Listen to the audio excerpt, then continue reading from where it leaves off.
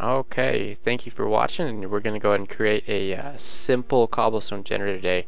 Um, here we're going to make what we call a single cobblestone generator. Um, first off by starting off by creating a kind of diamond shape here with our different cobblestone. Um, cobblestone, anything basically, I mean this can be even done out of glass, anything that's not going to um, be melted by lava.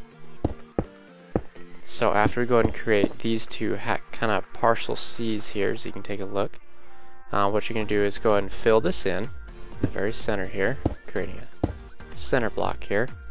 Um, I like to call these hoppers because this um, is going to be where you're going to your lava and water to go and create uh, cobblestone. So then what we're going to do is go ahead and take our piston here. Uh, standard piston will work just fine. You don't need a sticky piston.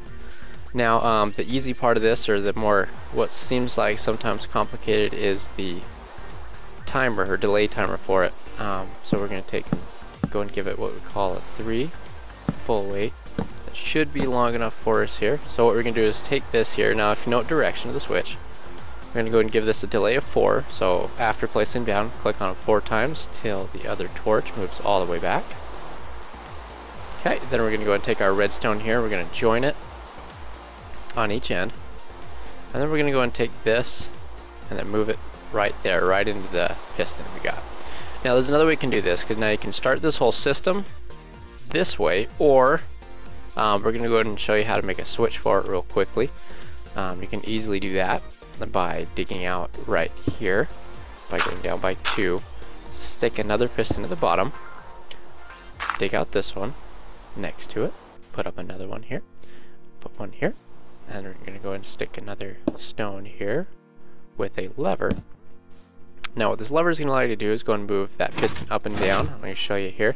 Because on top of this what you're going to need is sand for this. Um, you're going to use sand um, unless you have a sticky piston then the story's a little different.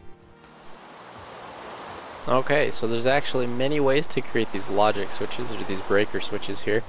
Um, here's just a quick row, a few of them. Sorry about the rain, can't exactly control that. okay, so first you can go ahead and use a sticky piston here. So obviously vertical switch, easy to do. Um, also you can do horizontal switch, again with the sticky piston. Um, there's another way to do it in Minecraft also because of the gravity between sand and gravel. Um, so here, using gravity to follow the switch, on or off. Um, this preferred method because then a sticky piston isn't required. Also to reverse that operation just like this with that um, using a redstone torch. So there you go. Sorry for the jump there. Um, many quick mistake. Um, always on your switch, or excuse me, your timer here, um, as you can note, you got your arrows heading in. They always have to go into your break or your breaker switch. Otherwise, it's not going to transfer the current to the other side. So basically use this to start and stop it. Um, the reason we do this, I mean there's many different ways you can do this between logic switches and other methods. Um, this is pretty much the simplest way to do it. Um, that's all, like I said, is the description of the video. A simple system. Okay, so we're to do that. We're to go and hit this. As you can see there, basically it's a delay timer. You can hear our piston pushing across over here. So then what we're to do is we're just to go ahead and take our lava. We're to dump it in on this side. And now timing can be important. Um, but as long as your piston's already going, you shouldn't have too much of an issue with it. There you go. And your automated cobblestone generator.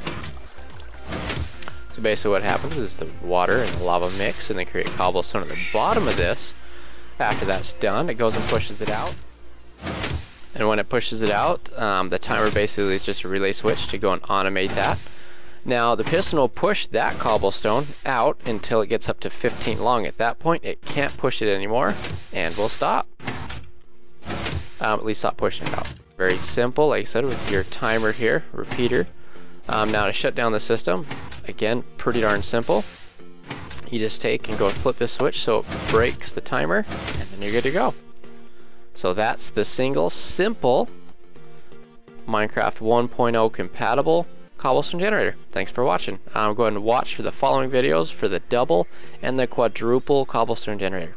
Thank you again. Have a good one.